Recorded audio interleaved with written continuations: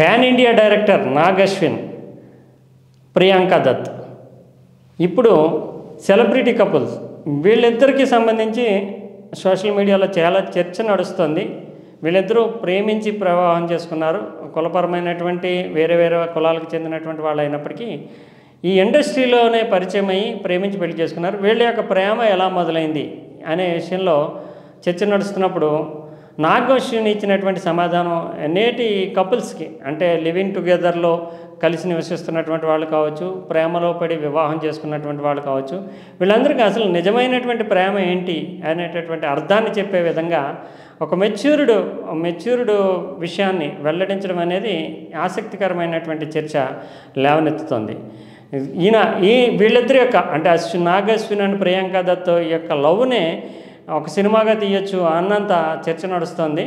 అసలు ప్రేమ అంటే ఏంటి? కేవలం ఆకర్షణ ఇన్ఫాచ్యుయేషన్ నిజానికి చూసిన వెంటనే లవ్ ఫస్ట్ లవ్ ఇటువంటివి ఏవి ఉండవంటూ నాగశ్విన్ స్పష్టంగానే తేల్చి చెప్పేశాడు ఫస్ట్ చూసిన వెంటనే వాళ్ళ యొక్క భౌతిక ఆకర్షణ వాళ్ళ నవ్వు లేదంటే ఫిజికల్ స్ట్రక్చర్ వీటిని చూసి ప్రేమలో పడితే కనుక అది ఆకర్షణ ఇన్ఫాచ్యుయేషనే తప్ప ఒక ఒకరిని ఒక వ్యక్తిని దీర్ఘకాలం పాటు చూస్తూ వాళ్ళ యొక్క ప్రవర్తన వాళ్ళ పనితీరు వాళ్ళ యొక్క సర్దుబాటు చేసుకునేటటువంటి తత్వం వారు సమాజాన్ని చూసేటటువంటి దృక్కోణము వారు ఇతరులతోటి ప్రవర్తించేటటువంటి విధానము వీటన్నిటిని అబ్జర్వ్ చేసిన తర్వాత క్రమేపీ అంటే గ్రాడ్యువల్గా జరిగేటటువంటి మదనం ఏదైతే ఉందో వాళ్ళతో ఏర్పడేటటువంటి అట్రాక్షన్ అంటే దీర్ఘకాలంలో వారిని చూస్తూ ఉండడం వల్ల వాళ్ళ యొక్క ప్రవర్తన పూర్తి స్థాయిలో అధ్యయనం చేస్తూ ఆకలింపు చేసుకుంటూ అంటే ఇది ఇది సహజంగా జరిగేటటువంటి ప్రక్రియ. సహజంగా అధ్యయనం చేస్తూ అంటే పనిగట్టుని కాకుండా చేస్తున్నప్పుడు వీళ్ళు లేకపోతే మేము ఉండలేము వీళ్ళతోటి ఉంటే జీవితం బాగుంటుంది వీళ్ళ వీళ్ళ వీళ్ళ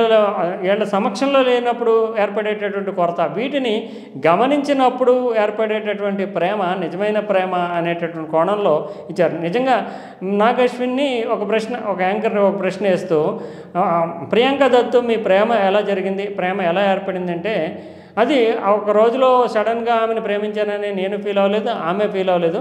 అడ్వర్టైజ్మెంట్లో అంటే కొన్ని వాణిజ్య ప్రకటనలకు పనిచేస్తున్నప్పుడు రిలయబిలిటీ అండ్ ఒకళ్ళ మీద ఒకళ్ళు ఆధారపడటము ఒకరికొకరు ఎలా సహకారంగా ఉంటారు వాళ్ళ యొక్క సలహాలు ఎంత విలువైనవి ఇతరత్ర అంటే కోట్ల రూపాయల బిజినెస్తో ముడిపడినటువంటి నిర్ణయాల్లో ఒకరినొకరు సంప్రదించుకున్నప్పుడు ఎటువంటి ఫలితం వస్తుంది వీళ్ళిద్దరి యొక్క అంటే ఒకరు ఒక ఒక డెసిషన్ తీసుకున్నప్పుడు ఆ డెసిషన్ కరెక్టో కాదో జడ్జిమెంట్ చేయాల్సి వచ్చినప్పుడు ఇంకొకరిని సంప్రదించినప్పుడు వచ్చే విలువైనటువంటి సూచనలు. ఒకరి సమక్షంలో ఇంకొకరు ఉండకపోతే ఆ సమయంలో ఒక డెసిషన్ తీసుకోవాల్సి వచ్చినప్పుడు లోపము. ఇదంతా చూసిన తర్వాత ఒక నిర్ణయానికి వచ్చి ఆమెకు వివాహ ఏర్పాట్లు జరుగుతున్నప్పుడు నువ్వు ఉంటే నాతో బాగుంటుంది నేను నీతో ఉంటే బాగుంటుందా? అనేటటువంటి ప్రశ్న నుంచే ప్రేమ ఉత్పన్నమైంది. అందువల్ల ఆ కొరత అనేది భవిష్యత్తులో ఉండకూడదు. మేమిద్దరం కలిసి ఉండాలి అంటే ఈ కొరత ఉండకూడదు. ఒకరికొకరు గ్యాప్ వచ్చింది ఒకరికొకరు దూరం అయితే కనుక ఆ గ్యాప్ను గుర్తించినప్పుడు అంటే ఒకరికొకరు లేనప్పుడు ఆ లోపం ఏదైతే వస్తుందో ఆ లోపం రాకుండా చూసుకోవడం కోసం పుట్టిందే ప్రేమ అంటూ చాలా సహజమైనటువంటి రీతిలో చెప్పారు. ఇది ఒక మెచ్యూర్డ్ లవర్స్కి ఉండాల్సినటువంటి ఒక నిర్ణయము. ఒక మెచ్యూర్డ్ లవర్ అంటే కేవలము కొన్ని రోజుల ఆకర్షణ కొన్ని రోజుల అట్రాక్షన్ తర్వాత ఆసక్తి తగ్గిపోవడము లేదంటే ఆర్థిక వ్యవహారాల్లో విభేదాలు వచ్చి విడిపోవడము లేదంటే మనస్పర్ధల పరంగా అంటే మానసికమైనటువంటి వైరుధ్యాలు ఉండడము భిన్నమైనటువంటి వైఖరులు ఉండడం దీనివల్లే సాధారణంగా లివింగ్ టుగెదర్ రిలేషన్షిప్స్ చాలా వరకు దూరం అవుతున్నాయి అంటే ఖర్చులకు సంబంధించిన తేడాలు కావచ్చు మనస్తత్వపరమైనటువంటి తేడాలు కావచ్చు ఒకరిపై ఒకరికి ఉండేటటువంటి ఫిజికల్ ఆకర్షణ తగ్గిపోవడం కావచ్చు ఈ మూడు కారణాల వల్ల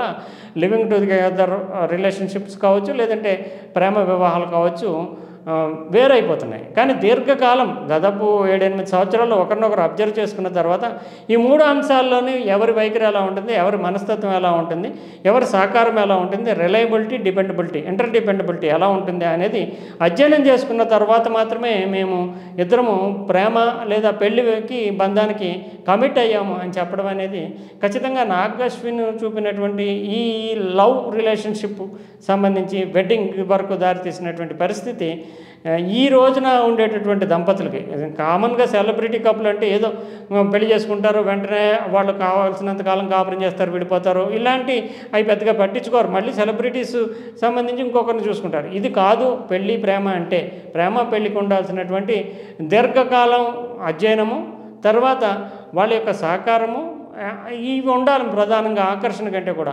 దీర్ఘకాలం వాళ్ళని చూస్తూ ఉన్నప్పుడు పుట్టేటటువంటి ఆకర్షణ. వాళ్ళతో లేకపోతే ఎదురయ్యేటటువంటి కొరత లోటు వీటిని బేస్ చేసుకుంటూ ప్రేమ పుడితే కనుక అది శాశ్వతంగా ఉంటుంది అనే సందేశంతో మా పెళ్ళి జరిగింది అని చెప్పడం అనేది నాగేశ్వన్ ఖచ్చితంగా ఇది ఆదర్శప్రాయమైనటువంటి లవ్ మ్యారేజ్గానే చూడాల్సి ఉంటుంది. ఏదైనా పాన్ ఇండియా డైరెక్టర్గా పెరిగినటువంటి నాగేశ్వన్ ఈ అతని జీవిత కథ అతని జీవిత సారాంశం ఒక ఫిలసాఫికల్ థాట్ ఉన్నటువంటి వ్యక్తి ఎవడే సుబ్రహ్మణ్యం సినిమా మనం చూసాం ఎవడి సుబ్రహ్మణ్యంలో ఒక ఫిలసాఫికల్ థాట్ ఉంటుంది. మెచ్యూర్డ్ పర్సనాలిటీ డెవలప్మెంట్కి సంబంధించి. అలాగే మహానటి సావిత్రిలో సైతము ఒక జీవన విషాదాన్ని ఆవిష్కరించినప్పుడు ఒక ఫిలసాఫికల్ థాట్ ఉంటుంది.